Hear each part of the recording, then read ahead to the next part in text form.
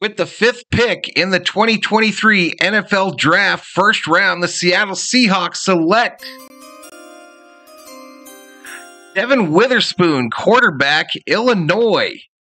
5 foot 11, 181 pounds. He graduated as a senior. 6.47 is his prospect grade according to NFL.com. It says he will become a good starter within two years. What do you think, Seahawk fans? Are you excited about this pick? Hit me up in the comments and stay tuned for more Valhalla Sports Talk Draft Shorts.